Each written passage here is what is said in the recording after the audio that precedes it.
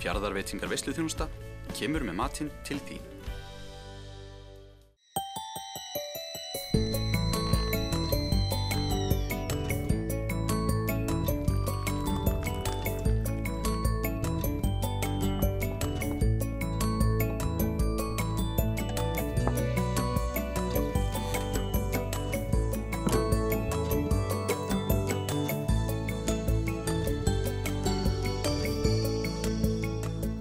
Komið heil og sæl, við heilsum ykkur hérna austan.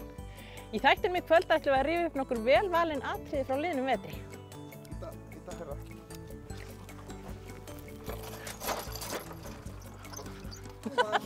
Margt að sjá Stúlkur og stangæjar Standandi uppi bar Og sigga fleira má þar sjá Laglegir unglingar Góðlegir gamlingar Og fólk sem að horfir bara á Þau eru listræn hjónin, Garðar Harðar og Anna Hrefnudóttir sem búsett eru á stöðvarfinni. Anna er myndlistakona og Garðar tónlistamæður og tónlistakennari. Saman reka þau einnig svartólið sem er galleri og gisting í kjallaranum heima. Svartólið er skreitt með verkum önnu sem lærði grafík í myndlista og handíðaskóla Íslands. Ég mála svona bara hugmyndir. Ég er ekkert í því að mála landslæg nema ég nota stundum eitthvað úr landslæginu svona sem mótíf. Svona hálf, oft hálffiguratívar myndir og hálf, hálf abstrakt. Hvaðan koma hugmyndirnum til því? Það er komið bara hérna. Og svo ef maður er, er svo fæðist að fæðist að hverjar annari.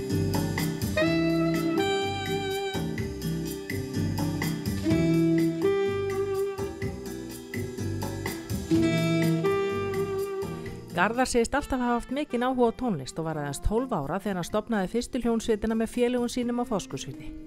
Hann spilaði lengi vel á dansleikjum um allar trissur, til dæmis með hljónsveitinni Herodes og jazzpianistanum Árna Íslefsinni. Það er þó ein tónlistastefna sem heitlar Garðar öðrum fremur, það er blúsinn. Ég hef ekki verið svona nýja ára líklega eða eitthvað, eitthvað þannig bygg þegar að amma og afi gáði mér kassagítar, ég er alveg uppið þeim og, og ég byrjaði eitthvað að glíma þennan gítar og þá var Valur bróður minn, hann hefði verið á einhverjum skóla, hann hefði verið að reykholt í borgarfyrðu og hann var með einhver svona grip og eitthvað, ég náði einhver sambandi við þetta.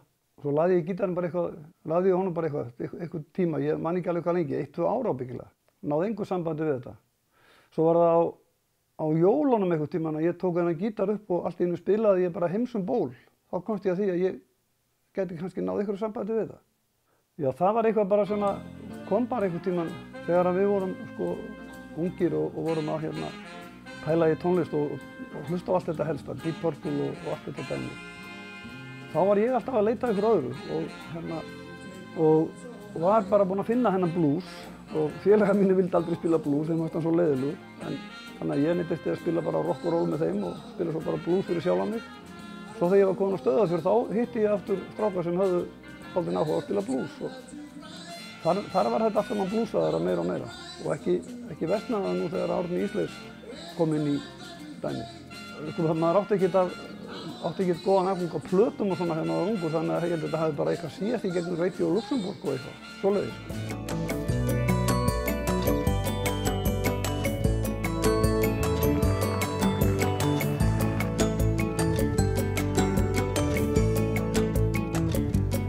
Hér við lagafljótið í Fellabæ er bókakaffi og á förstu dögum þá er alltaf kökulhlaðborð og ég bara gat ekki sleppt í að mæta.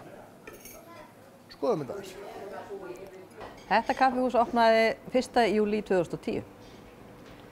Svona í þessari myndi svo að það var náttúrulega ekki kaffihús hér áður en það var bókabúð sem var náttúrulega langt flestir þekkja, eða svona, já, áttu taugar til og, og eiga ennþá taugar til. Það var bara engin rekstur eða það var hættur svo sem að var með það en Sigbjörn. Ég var alltaf að keira hérna framhjá bara og sá að þetta húsnæði var engur til gags og mér langaði til að gera svona bókakaffihús. Vera með kaffi og bækur og og svo hefur bara þetta svona hlaðið svolítið utan að sig. Segðu mig frá því sem er í bóði svona hjá ykkur.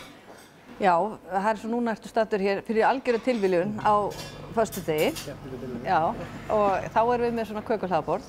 Þá bara við bökum bara fullt af kökum og, og setjum þær bara hér á hlaðborð og, og seljum uh, þannig að fólk kaupir sér, getur smakkað á öllum kökunum. Það er rosalega vinsælt.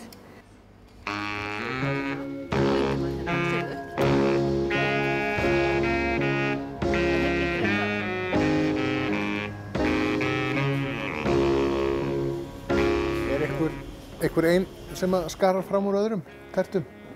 Við leggjum áherslu á gamlu góðu íslensku rjómatertuna.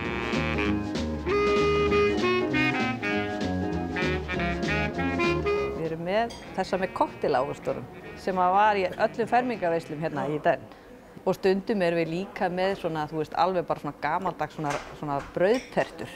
Þú veist, alveg bara með annarkort og rækju brauðtertu, bara svona, þú veist, fermingartertu eða með hangikjötu og baunasaliti. Þetta, þetta var náttúrulega aldrei mikið svona í veislum hérna. Svo eru þetta alltaf, það þurfa náttúrulega að vera bara til marenskökur og, og súkulaðikökur og þú veist hvernig þetta er. Þetta er, þetta er allt aldrei gott. sko. Það má eiginlega segja að það sé fermingaveisla hérna hverjum föstu. Já, það hefur oft verið talað um það. Það er svona, já, já, heyrðu, þetta er bara svona svo fermingavisla. Þetta, er þetta vel sótt? Þetta er að verða svona fastu punktur í tilverinu hjá mörgum sem að koma nánast alltaf, sko. Og svo er náttúrulega bara svona skemmtilegt að það er alltaf að koma, maður sér alltaf nýja og nýja andlit og, og yfir sumatíman er náttúrulega miklu meiri svona túristatrafík og túristunum finnst æðislegt að komast í eitthvað svona, sko. Þegar það er bara æði, sko. Svona Íslenskt. Já, og, og bara svona þetta, geta komist í að, að smakka á öllu og, og svona.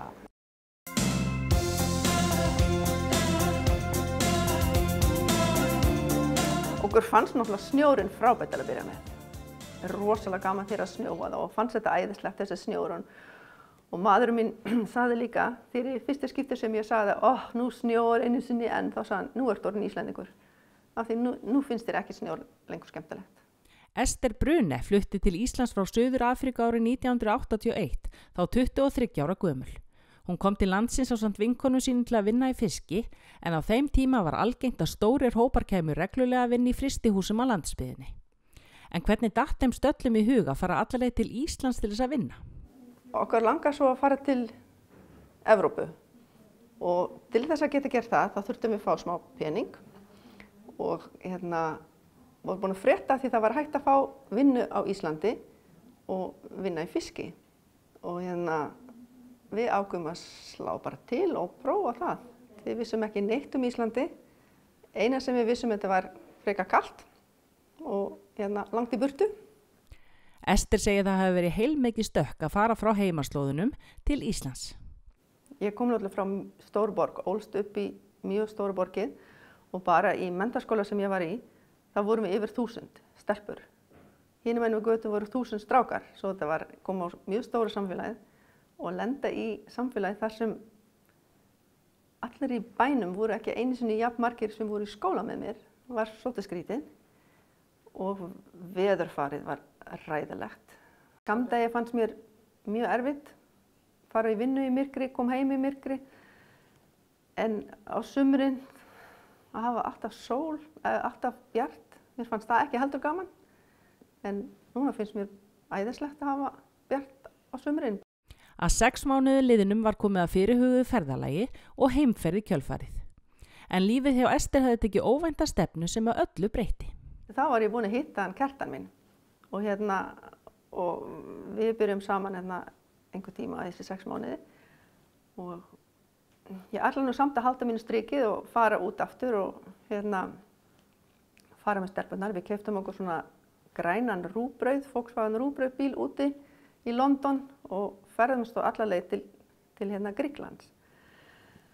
En þetta var mjög erfitt af því ég hafði nú smá taugar hinga til, til Íslands. Ester kom aftur til Íslands í átta mánuði en sagan endur tók sig þegar hún fór heim, hjarta hennar var eftir á fóskursviði. Það var henni erfitt að snúa baki við fjölskyld og vinum í heimalandinu En að lokum varð ástinni yfirsterkari og Ester flutti til kjartans og býr hér enn 36 árum og fjórum börnum síðar. Ester held áfram að vinni fiskinum fyrst eftir hún flutti. Síðar var hún fengið til að starfa í grunnskólanum, fór svo í sumaraflýsingar og íhlaupavinn á dvalarheimilinu uppsölum sem endaði með því að hún kláraði sjúkraliðanámið. Nú hefur hún búið lengur á Íslandin í Suður Afríku. Hvað ætli sér heima fyrir henni?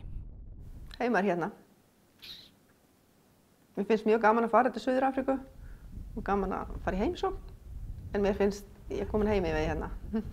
Ég er svolítið duðlega að gera svona villusum málsættir af því ég held ég sé orðan svo góð í íslenskunni og svo býr ég bara tíminn í eigin málsættir. Ég var einhver tíma þá, eins og, ég kann ekki ennþá að segja þetta, því að mann segir svona, þú ert ágjörðar rákfallabjallur. Eh, hvað segir mann? en allavega saði ég ekki það, ég saði rákadallur.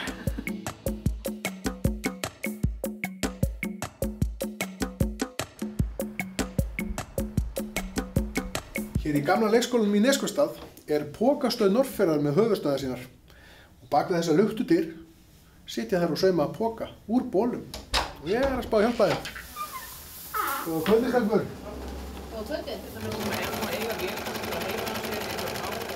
Hvaðan kemur hugmyndin að þessu? Hugmyndin kemur hann uppalega, allavega sá ég þetta fyrst þarna á hotnafyrði, eða ekki? Og svo, og hérna, og var alltaf búin að hugsa um að gera þetta allavega fyrir sjálfa mig bara, að græja ykkur að bóli sjálf og eitthvað svona og, og svo bara fyrir mig. Og svo satt ég heima eitt kvöldi og bara, æ, þannig komið svo mikið af bólum að þessi hugmynd bara kviknaði að bara fara að fara í framleiðslu bara. Já. Það var hann bara svona óvart, ekki? Já, og fórst eiginlega svona að segja mér frá þessu svona óvart og, og hérna, svo bara áður en við vissum á vorum við byrjaðar. Hverjir gefa bóluna? Bara íbúðar í bænum og ótrúlega mikið búið að koma af alls konar bólum og efnum og, og bara fötum. Við erum að breyta buksum líka. Náttbuksur og pils og alls Kjóla. Einmitt, og kjóla. Og... Og sængurföt og, og gardínur og... Já, já, allt mögulegt og, og við saumum bara mismunandi bóli, þú veist, það er ekki allir bólinir eins. Við höfum verið að sauma úr, úr svona þykkari efnum, gardínum og, og einhverju svoleiðis. Við höfum við gert svona minnipóka sem að henda kannski fyrir bókasöfn. Já, við hefum gert þetta nokkrar, ef við eftir að við erum að sapna í svona smá sjó handa bókasafninu. Óps, flýgur þetta, allstaðar bólir og allstaðar, það er bara svo leiðis. Þú veist, eins og þess ætlum við bara að fara með, þú veist, á, á bókasafnið fyrir krakka til dæmis, eða bara alltaf sem að taka bækur. Þannig að það er verið að, ennþá verið að drefa plastbókum, þannig að ætlum að koma þeim þáka. Notkun plasts hér á Íslandi sem og annar staðar í heiminum hefur mikið verið í umræðinu síðustu ár. Var það kannski byrjunin? Já, þetta byrjaði þetta þannig, maður er notið alltaf mikið af, af plastbókum, burðarpókum aðalega, sko, veist, í, í búðinni og svoleiðis. Og þetta sjálfur, og svo bara, þetta, bara vatti þetta einhvern veginn upp á sem maður er miklu meðvitaðari, finnst mér allavega, finnst þetta ekki líka? Á, Jú, og, og líka það sko, að þetta eru pókastöðvar í búðunum, að þá er maður svo ofta að standa sig að því maður er komin í búðina og bara, ó, pókin er heima. En þarna er þetta hugsað að þú farir þetta lánað og svo skilar hann um aftur. Og þú ert kannski komið með 5-6 bóli heim, veist, póka og, og svo bara ferðu með það til búðina næst og nota kannski breyt. Þannig að þetta á bara geta rúlað, þú veist, svona, Hafið þið fundið fyrir mikill aukningu á nokkunni í bæðilegum? það er allavega sjaldan pókar í pókastöðunum, þó við séum búin að sauma yfir 600 bóli, breyta þeim í. Fjarðarveitingar veisluþjónusta kemur með matinn til þín.